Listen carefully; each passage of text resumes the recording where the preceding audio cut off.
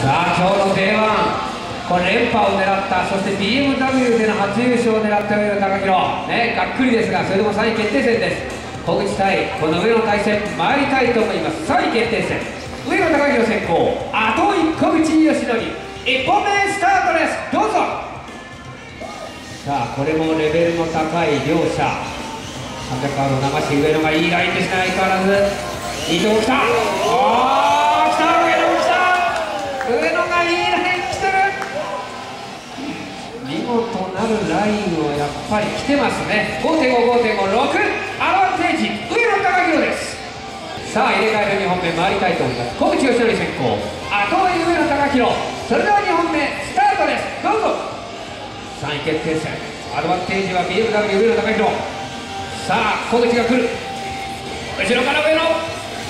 おお角度うまい止めた。止めた。うまいなおい。うまいな。決定かなどうだねだね決定です3位決定第3位は上野貴弘決勝戦それでは末永正夫先行後追い出浦白いきたいと思います1本目スタートですどうぞさあオレンジのマシンゲフリー末永正夫後ろからピンクの S14 出浦白大きなラインであーちょっと引っかかったあーちょっとはらんだところ引っかかった走り。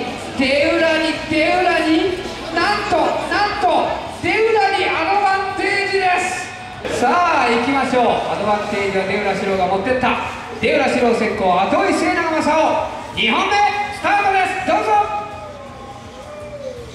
さあ出浦後ろから末永が行く。